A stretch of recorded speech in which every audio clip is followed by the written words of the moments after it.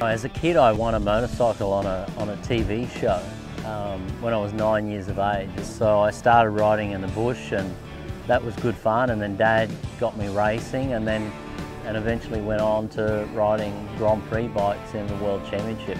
And I still love riding motorcycles and I love doing it in the way I do it now. My passion started when I was about 16 or 17. I met a group of guys in Brisbane and they took me to Cape York fishing. And from that day, I love all the top end. And that's why Cape York become one of my tours on Daryl Beattie Adventures. My first truck for the business was a Mercedes Unimog. I bought it and then realised, oh my God, I'm gonna have to spend a lot more than I did at the auctions on this truck to make it work in the business. Uh, it got to a point where I knew I had to upgrade. I needed that reliability and I decided to try Iveco. I approached them and they welcomed me with open arms. Knowing what we do, it's, it's harsh environment, some of the toughest stuff in Australia.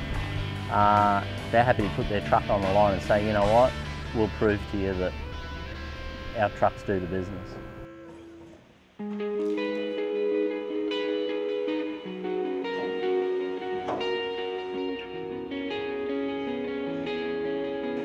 The building phase has been five to six months getting this truck ready for this season.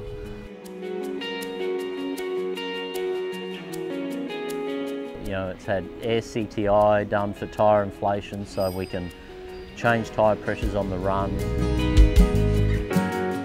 Unidan, the body. The Euro Cargo has been really good. Um, we've seen a lot of the Dakar stuff. They've done a really good job of those trucks.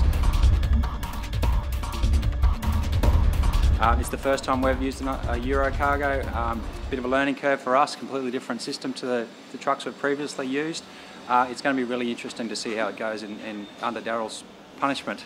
Once we get those door settings right.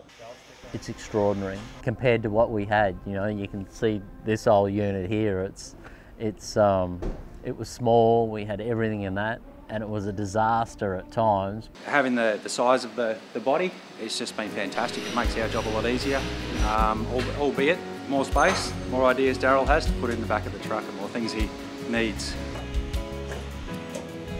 With the bigger Euro cargo, it's a 15 tonne truck. I still feel like we struggle with room and we're still going to fill it, but now I can walk into a truck and pull a drawer open, pull a food drawer out, open a fridge, do whatever I want. Sounds silly, but it makes a big difference. The season's about to kick off for us, so you know, I'll get a true evaluation of you know, the ML150, the Euro Cargo and how it's going to perform. Um, I have no doubt it's going to be, be very, very good.